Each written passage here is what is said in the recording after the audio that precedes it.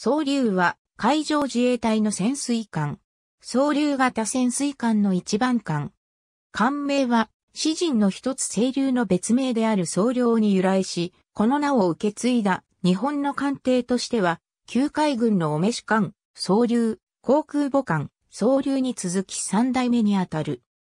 総流は、中期防衛力整備計画に基づく平成16年度計画2900トン型潜水艦8116号艦として、三菱重工業神戸造船所で2005年3月31日に寄港され、2007年12月5日の命名、浸水式において、総流と命名され、浸水、2008年10月4日に行使開始、2009年3月30日に収益し、第一潜水隊軍第五潜水隊に編入され、呉に配備された。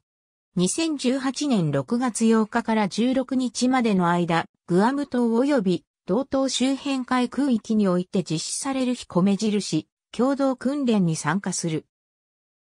参加部隊は、総流のほか、護衛艦、伊勢、鈴波、冬月、搭載航空機5機、P-1 哨戒機2機、現在も第一潜水隊軍第五潜水隊に所属し、低傾向は5である。2008年7月9日、三菱造船所の作業員5名が感電し火傷をする事故が発生した。2012年10月8日午前7時前に定期検査後の確認運転のため、ユラ港を出港後、午前8時47分に先行を開始。午後2時18分頃、先行中の総流で酸素が当直に現れず行方不明になり、浮上して捜索したところ、環境セール内浸水部で溺死しているのが発見された。事故調査委員会は、酸素が自殺したものと結論付けた。2013年9月2日、呉基地で停泊中の総流艦内の寝室で、二等海尉が艦内の格納庫から持ち出した拳銃で自殺を図った。二等海尉に命に別状はなかったが、重い障害が残っている。海事は2015年に自殺の原因を上官の暴行と断定し、上官と暴行を黙認していた関係者を停職数日程度の懲戒処分を実施した。しかし、海事は二等会議との協議が続いているという理由で、処分を公表していなかったことが2016年1月12日に各メディアで報道された。二等会議の両親は2016年1月中に国を相手に3000万円の損害賠償を求める裁判を山口地方裁判所に起こすことを明らかにしている。2021年2月23日の総流2021年2月8日午前10時55分頃、高知県足摺岬から南東約50キロの太平洋上で総流と民間商船が衝突した。海事によると、潜水艦の乗員3人が軽傷を負った。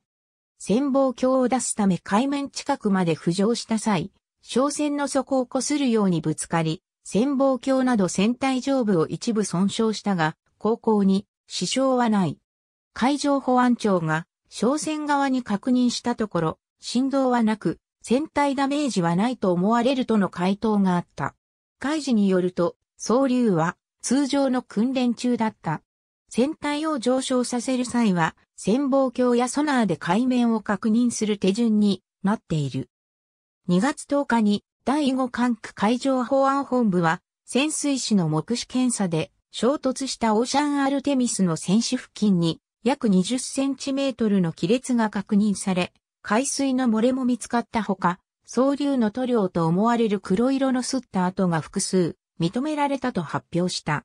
一方、総流は2月14日、神戸市の海上自衛隊阪神基地に到着し、調査結果を踏まえ、業務上過失往来危険や業務上過失傷害の疑いで捜査が開始されることとなった。2月16日に運用安全委員会委員長の会見が行われ、調査結果のまとめについては1年後をめどに発表されることとなった。ありがとうございます。